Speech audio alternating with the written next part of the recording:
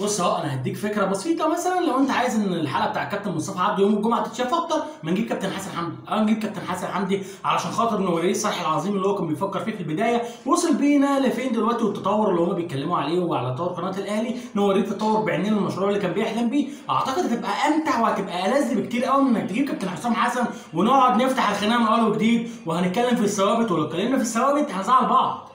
بسم الله الرحمن الرحيم. أهلا وسهلا بحضراتكم. في البداية في شخص طلب مني إن أنا أعتذر على إن قناة الأهلي بقت كويسة وإن أنا أقول إن أنا غلطان. ماشي يا عم أنا آسف القناة بقت كويسة وربنا يخليها كويسة دايما ونشوفها في أحسن مكان. ماشي يا عم أنا غلطان بس أنا لسه مش مقتنع برضو إن هم طوروا ولا عملوا أي حاجة. مش ده المهم المهم هنتكلم على خبر وإن كابتن حسام حسن احتمال يظهر مع كابتن مصطفى عبده يوم الجمعة ضيف البرنامج بتاعه. وده خبر غير مؤكد بس حتى لو كان غير مؤكد فكرة وجود كابتن حسام حسن على شاشة قناة النادي الأهلي في علامات استفهام كتير وفي كلام كتير قوي هنبدأ نتكلم فيه. حتى لو كان الخبر غير مؤكد. شوف الموضوع واصل معانا لدرجة إيه؟ ما بالك بقى لو الكلام ده كان رسمي.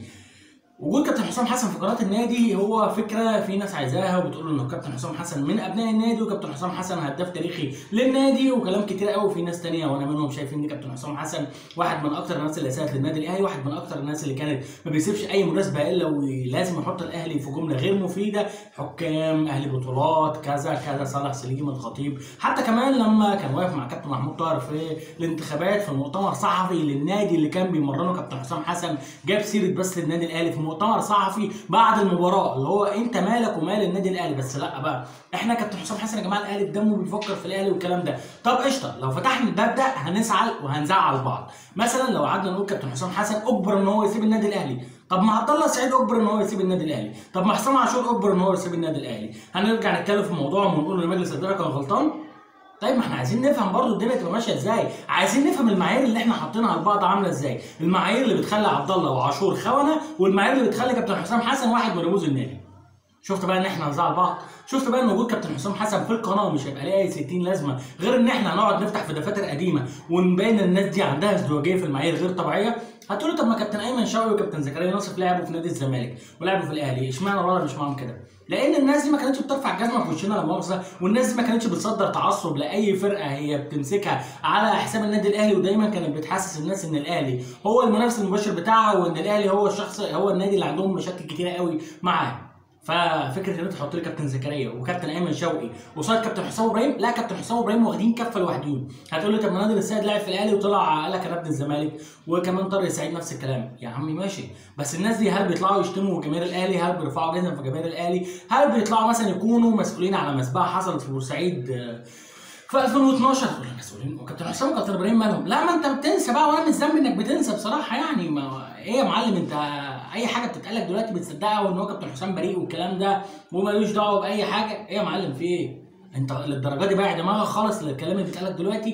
مش ده المهم يا معلم. وارجع دور في تاريخ كابتن حسام حسن قبل ما قبل مجزره بورسعيد والتصريحات اللي كان بيقولها والكلام اللي كان بيقوله. بس ده عادي يعني الحياة حلوة. المهم إن كابتن حسام رجع يندم. طب كابتن حسام رجع يندم فعلا؟ ولا كابتن حسام عنده مشكلة مع مرتضى منصور فندخله قناة النادي. وكمان موضوع قناة النادي ده كان بيتقال من شهر فات إن كابتن حسام حسن احتمال يكون من ضمن محللين قناة الأهلي. ودلوقتي بيقال إن هو ضيف ضمن قناة الأهلي مع كابتن مصطفى عبده. يعني الموضوع في التفكير أو في صحفيين بيحاولوا إن هم يسربوا الأخبار دي. بس في الحالتين زي ما قلت لك فكرة وجود كابتن حسام حسن في النادي هتفتح مناقشات كتير جدا. والمناقشات دي لو اتفتحت هتبان إن مجلس الإدارة ده مش مزدوجي ده بايع كل حاجة وبايع كل القواضي يبقى ليه بقى؟ ما نجيب كابتن حسن حمدي؟ ونقعد نتكلم في التاريخ ونقعد نتكلم في الماضي ونقعد نتكلم على قصص. أنا كواحد أهلاوي ممكن أقعد أسمعها من ضمن كابتن حسن حمدي. وأحاديثه اللي هيقولها لي للصبح. إنما ما عنديش مانع. أو عندي بصراحة مانع إن أنا أقعد أتفرج على كابتن حسام حسن وهو بيتكلم على قد إيه ندمه وقد إيه هو ساب الأهلي وهو كان مقبور وأنا حاسس إن ما بيني وبين نفسي إن الراجل ده بيحاول يشتغل الناس وبيحاول يضحك عليهم. بس مع الأسف إحنا في مصر دايما بنحب اللي بيضحك علينا وبنحب اللي بيقول لنا كلام يريحنا حتى لو كان الكلام ده كله كذب وكله هجص وكله ضحك على الدقون بص أنا ما بحبش أطول الفيديو عشان خاطر أحط إعلانات والكلام الفاضي ده لأن أنا بحس إن الموضوع بيبقى over قوي فمش تخسر حاجة لو عملت like على الأربع دقايق دول ومش تخسر حاجة لو اختلفت تختلف باحترام. إنما عايز تشتم يا معلم كمل. الله كريم.